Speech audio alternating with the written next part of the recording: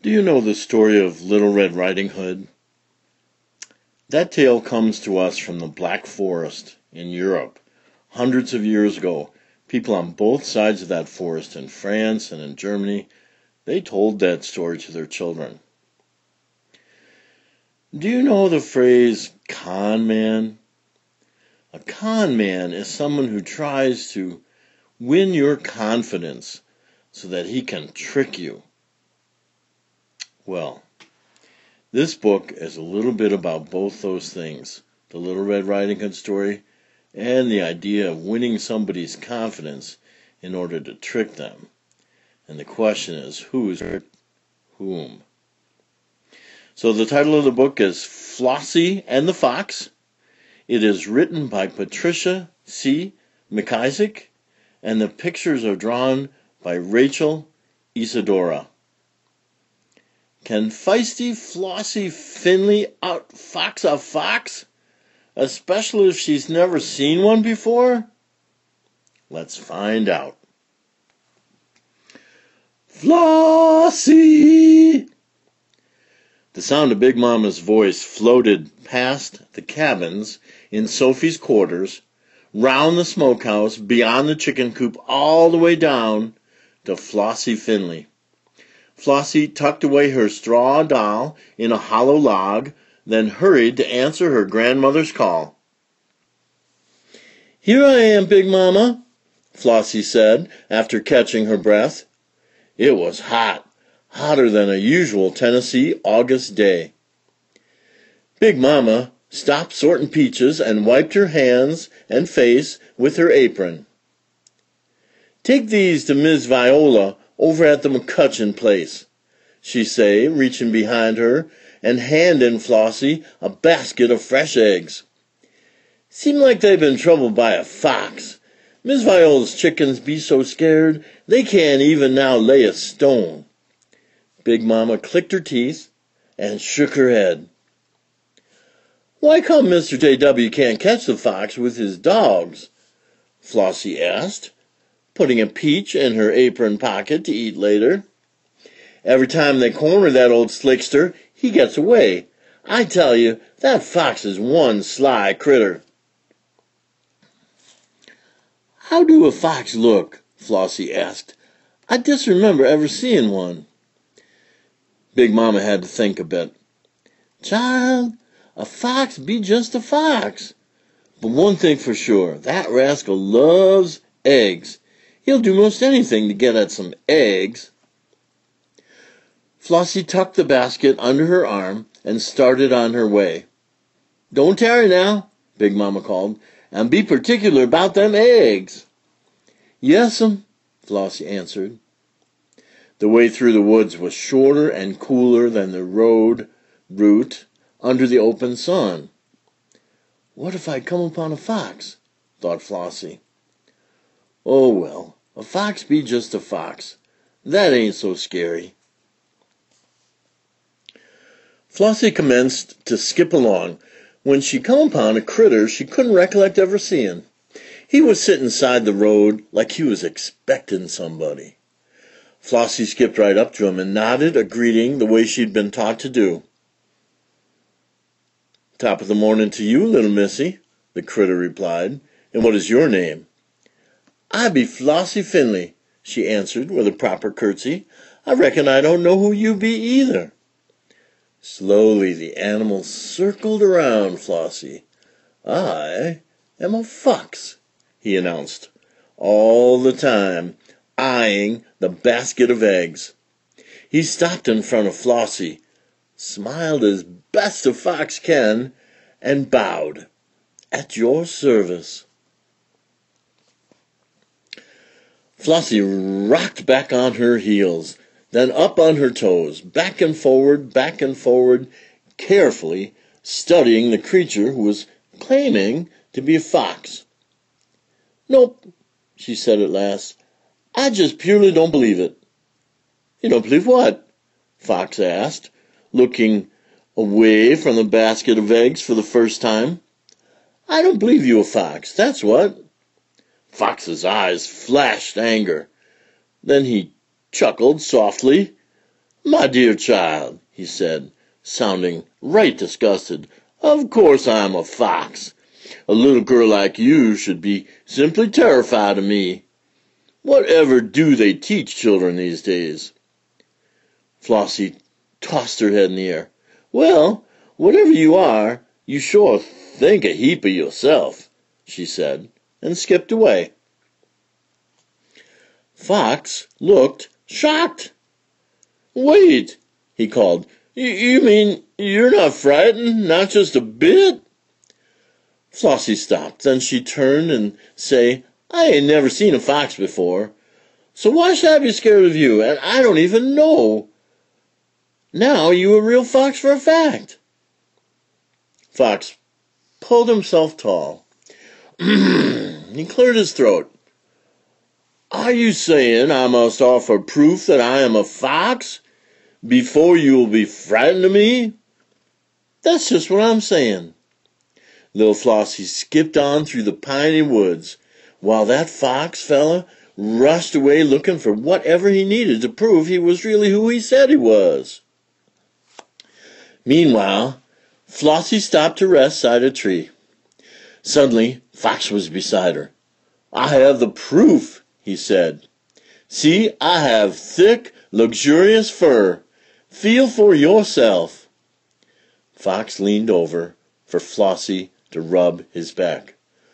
Hmm, hmm, feels like rabbit fur to me, she said to Fox. Shucks, you ain't no fox, you a rabbit. All the time trying to fool me. Me? A rabbit? he shouted. I have you know my reputation precedes me. I am the third generation of foxes who have outsmarted and outrun Mr. J.W. McCutcheon's fine hunting dogs. I have raided some of the best hen houses from Franklin to Madison. Rabbit indeed. I am a fox, and you will act accordingly. Flossie hopped to her feet. She put her free hand on her hip and patted her foot. Unless you can show you a fox, I'll not accord you nothing. And without further ceremony, she skipped away. Down the road a piece, Flossie stopped by a bubbly spring. She knelt to get a drink of water. Fox came up to her and said, I have a long pointed nose. Now that should be proof enough. Don't prove a thing to me. Flossie picked some wild flowers. Come to think of it, she said, matter of fact like, rats got long pointed noses. She snapped her fingers. That's it. You a rat trying to pass yourself off as a fox. that near about took Fox's breath away. I beg your pardon, he gasped. You can beg all you wanna, Flossie say, skipping on down the road. That still don't make you no fox. I'll teach you a thing or two, young lady, Fox called after her. You just wait and see. Before long, Flossie came to a clearing. A large orange tabby was sunning on a tree stump. Hi, pretty kitty, the girl say, and rubbed the cat behind her ears. Meanwhile, Fox slipped from behind a clump of bushes. Since you won't believe me when I tell you I am a fox, he said stiffly, perhaps you will believe that fine feline creature toward whom you seem to have some measure of respect. Flossie looked at the cat and winked her eye. He sure used a heap of words, she whispered. Fox beckoned for Cat to speak up. Cat jumped to a nearby log and yawned and stretched. Then she answered. This is a fox because he has sharp claws and yellow eyes, she purred. Fox seemed satisfied. But Flossie looked at Cat. She looked at Fox. Then once more at both, just to be sure. She say, All due respect, Miss Cat, but both y'all got sharp claws and yellow eyes, so that don't prove nothing. excepting both y'all be cats. Oh, Fox went to howling and running around in circles. He was plumb beside himself. I'm a fox and I know it, he shouted. This is absurd. No call for you to use that kind of language, Flossie said, and she skipped away. Wait! Wait! Fox followed, pleading. I just remembered something. It may be the solution to this this horrible situation. Good, it's about time. I have a bushy tail. Fox seemed to perk up. That, that's right, he said. All foxes are known for their fluffy, bushy tails. That has got to be adequate proof. Ain't gotta be. You got a bushy tail. So do squirrels. Flossie pointed to one overhead, leaping from branch to branch in the treetops. Here, have a bite of peach, she said, offering Fox first bite of her treat. Oh, but Fox was crying like a natural born baby. No, no, no, he sobbed. If, if I promise you I'm a fox, won't that do? Flossie shook her head. No. Oh, woe is me, Fox hollered. I may never recover my confidence. Flossie didn't stop walking.